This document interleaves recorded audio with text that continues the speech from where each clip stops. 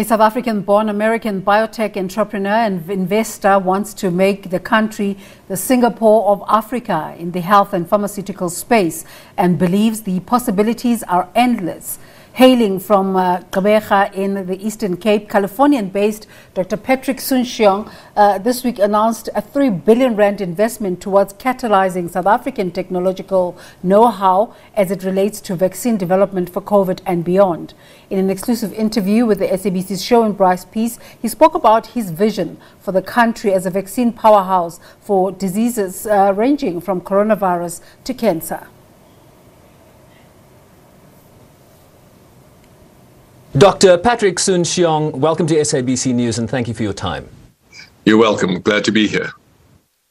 You made a headline grabbing announcement this week committing 3 billion rand towards what you call catalyzing capacity building, self sufficiency, and innovation in COVID 19 vaccine production in South Africa. In more practical terms, where will this money go and what exactly will it do?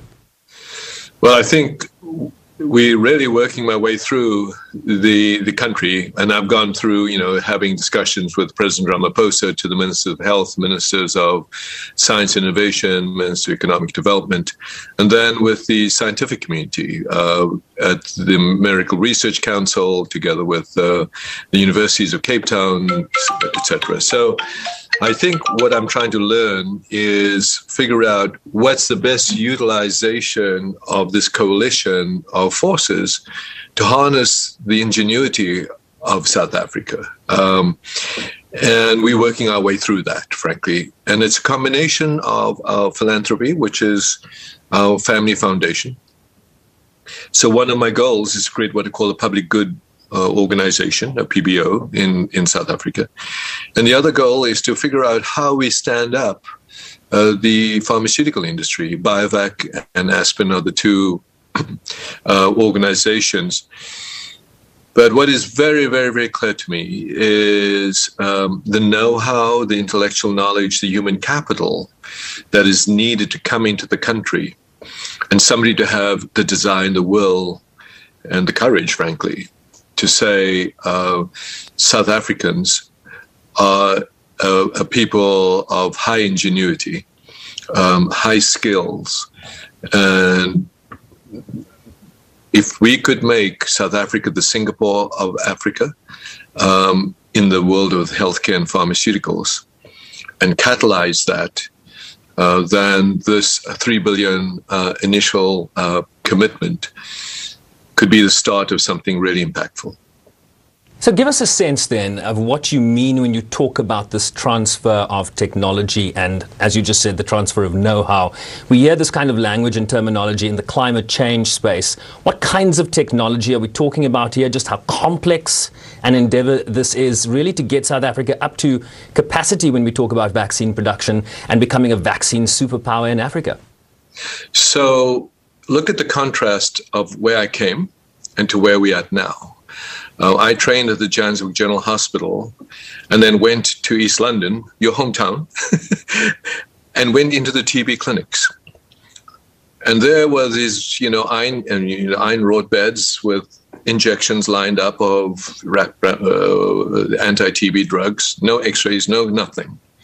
And injecting these poor kids with uh, these so-called uh, anti-TB drugs and realizing that the technology doesn't exist in the country.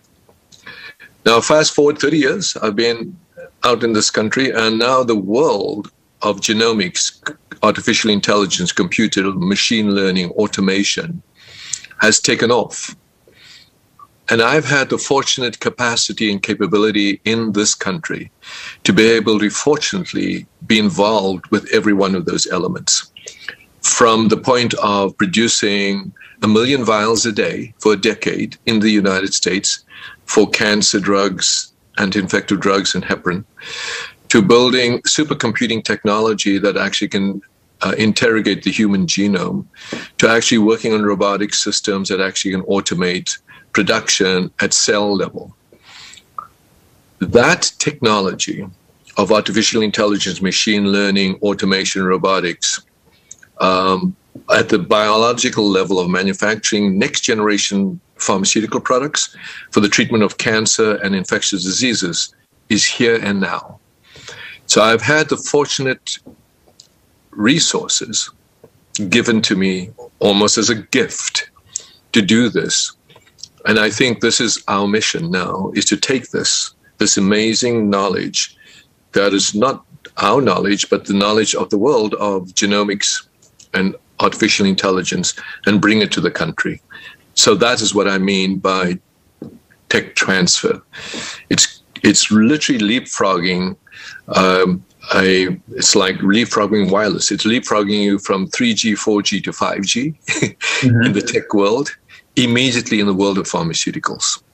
And I think we can do that, given the courage, given the desire, given the uh, government will and the private sector will to do that. So, given that we continue to be in this race, right, against mutations and the various variants that are emerging as it relates to coronavirus. You talk about the need for second generation vaccines. Talk a little bit about the potential you see for a country like South Africa in terms of vaccines and therapeutics and, and the diagnostic space around this uh, pandemic, not only from a healthcare perspective, but the longer term economic implications that can come from this. Well, uh, you know, this is exactly the, the issue where, thankfully, for the last five years or eight years of my career, we've tried to pursue what I call the cancer vaccine. Now, that sounds crazy, but it's not. Because it turns out that an infected cell, like that of a COVID, or TB, or HIV, versus a cancerous cell, you and I have the same capability to protect ourselves against that by activating T cells and a thing called the natural killer cell. So, unfortunately, the world of vaccinology, which is in the world of virology, has not evolved beyond antibodies. And antibody is a correlative protection, and you look at the vaccines today, um, egg-based vaccines all the way to even mRNA are all trying to activate antibodies. Antibodies may prevent, to some degree, the entry of the virus, but it doesn't prevent the killing of the infected cell, which means you need the T cell. And what I mean by second generation vaccines is to drive your body to activate T cells specifically to that infected cell. And that's what we've done uh, in our at least protocol. That's what we've done in cancer, and that's what I want to do not just for COVID, TB, schistosomiasis, HPV, diseases, tropical diseases that affect Africa, which has been basically neglected in the Western world because it's not here. Because it's Africa. Right. So the opportunity then to bring second generation, not just for COVID, but for schistosomiasis, hookworm, Lassa fever, chikungunya, uh, words that probably are foreign to most Western societies, but impact millions and millions of people in Africa, um, is what I want to catalyze. I mean, are you actually saying that South Africa could be at the forefront of a possible future cancer vaccine, as broad as that might and impossible as that might sound? Absolutely. I can just give you some insights into where we've done now. We've, we spent the last five years with the National Cancer Institute in the United States. Um, we are in uh, clinical trials. We've tested 1,800 patients uh, right now in the United States. We are in 25 phase two, three clinical trials. We have now complete remission uh, data on pancreatic cancer, complete remission in triple negative breast cancer, complete remissions in head and neck cancer. So this is not theory any longer. Uh, now, obviously, we have to validate these in what we call randomized clinical trials, which we are doing in the United States. But why wait? Why then allow then just Western societies to have access to this technology? So my goal is then to bring it um, um, home, so to speak, um, and create the human capital to understand and build on this technology. It's always going to be your home, so you can you can bring it home, so to speak, uh, Dr. Soon Shiong. Let me ask you about the current uh, negotiations at the World Trade Organization as it relates to intellectual property waivers. Uh, you talked about how this is not obviously just about IP waivers. This is also about the transfer of technology. What's your reading on the ongoing negotiations at the WTO? Of course, uh, there's the counter argument that says this is possibly going to undermine innovation, research, uh, and and and development what does success look like for both sides at the end of this? Look, I think um, while that's an, an important step, it's not the step. I mean, it may sound counterintuitive. Let's say you waive the patents. Um, that's great. Now, what do you do with a piece of paper? Uh, when there's no know how, no knowledge, no technology, no transfer, no ability to scale. So, what we don't want to do is lose sight of what the real goal is. The real goal is to create self sufficiency and capacity. If that means that part of that is, is, a patent wavering, but it's probably not necessary. The vaccinology of today, of, of the yesteryear, is so old that many people can do that independent of IP. What we need to do is look to the future and actually create, as I said, next generation vaccines. So my fear is that you get caught up in this political discussion rather and then you, you, you, lose your your way. What the World Trade Organization can do and what the, the World Bank can do and the African National Bank can do is help support government organizations for not only financing but breaking the red tape breaking customs barriers, breaking import barriers, but under very, very, very strict regulated lines so that you don't get crazy stuff going back and forth.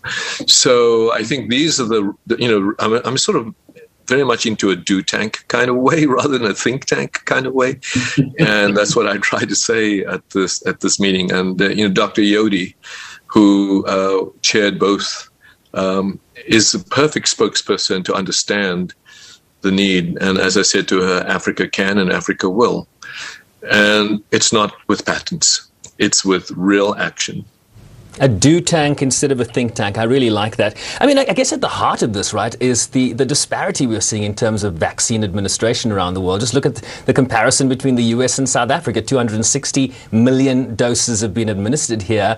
And if you look at South Africa, about 430,000. We're looking at 40% that have received uh, two doses in the United States, fully vaccinated, and less than 1% in your home country. That's at the core of what's going on at the WTO in terms of uh, multilateral negotiations right now. How do we solve that issue now?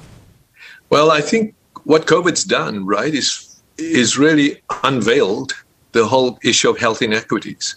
Um, and you know, as Martin Luther King said, you know, healthcare is a human right. so we uh, need to address that systemically, meaning, you know, we can't just, you're right. Um, the inequities of hoarding vaccines when there's a surplus supply and not allowing um, other countries to have access to it, or maybe having access to maybe uh, less effective vaccines is just not equitable, but it is what it is. I think, again, I'm such a pragmatic person, it is what it is.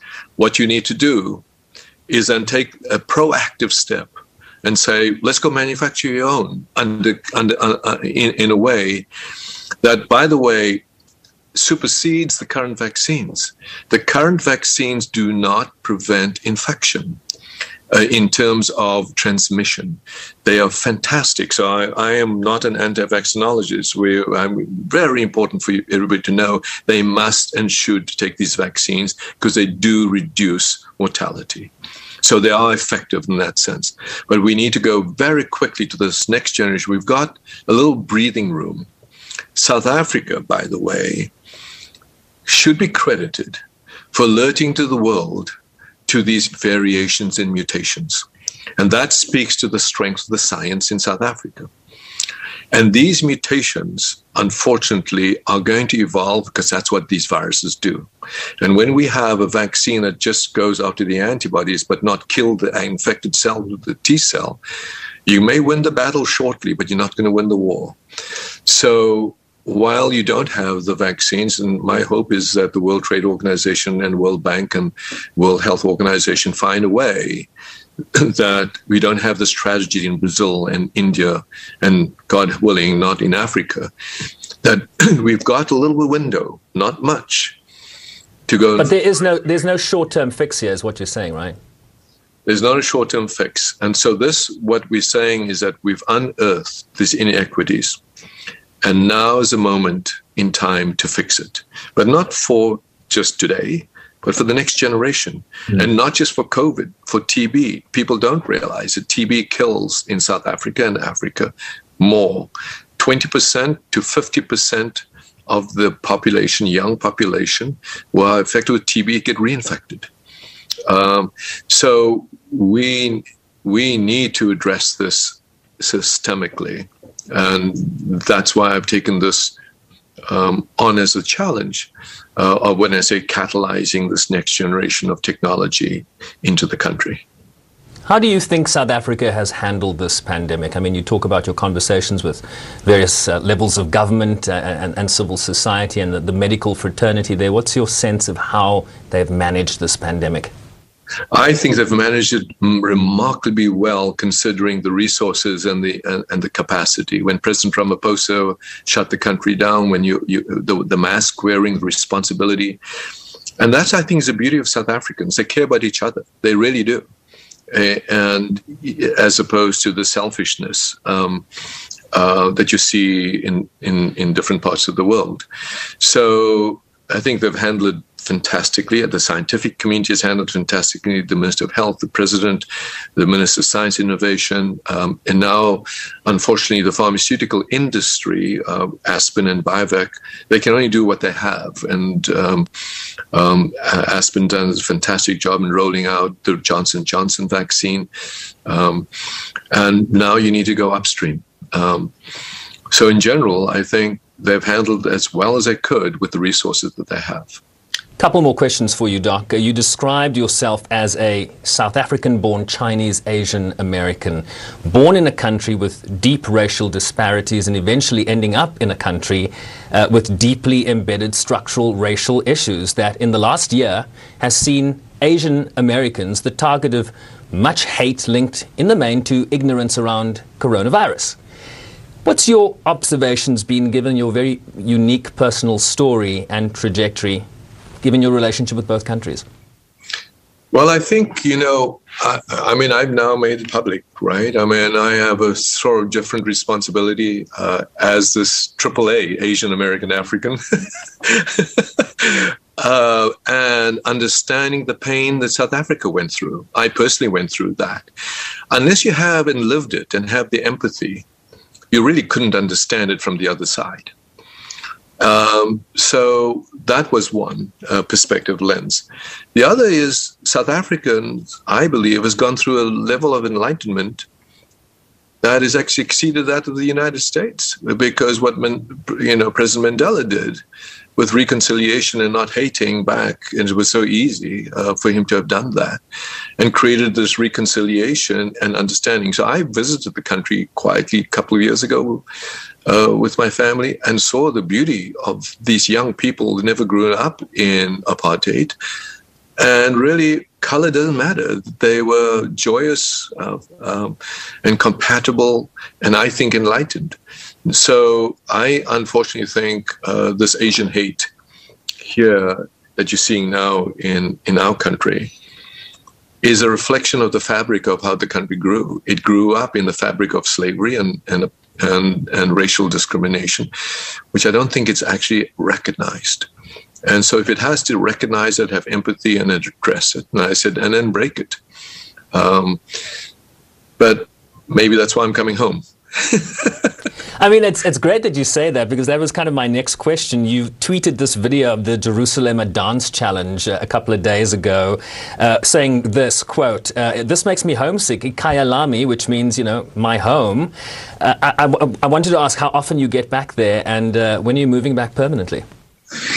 I, I, don't know if I can move back permanently. I think because I think I have a responsibility with both countries. I think um, but I do know I will be moving. Um, and President Ramaphosa asked me when, and I said yesterday.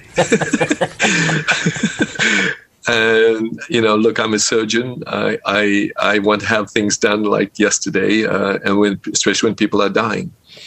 So I'm actually working literally 24 uh, 7 with different elements of the country, whether it be the government, whether it be uh, academia, whether it be societies, whether it be um, even hospitals, and trying to piece together very quickly this coalition that we will soon announce. Um, but I'm trying to be very practical about it. This is not, you know, a policy think tank. This is not an ego organization. This is about how can we qu- quickly save lives, uh, and how do we most quickly make impact. And then how do we work with organizations like SAHPRA, which has been fantastic? Um, how do we bring regulations in that are, are very, very um, uh, um, controlled so that it is it's not done irresponsibly um, and scientifically? So the answer is yeah, and it, it, did make me homesick. This Jerusalema. One day you and I are going to have to do this dance. I'm not sure. but I spoke to uh, the vice chancellor, and I was taken by her as Mamokgethi, uh, uh, University of Cape Town. Yeah, by her dance, and it's so wonderful. It's basically a prayer when you think about it. If you look at the words in English, if those who don't, it's a prayer. It's a fantastic, beautiful prayer.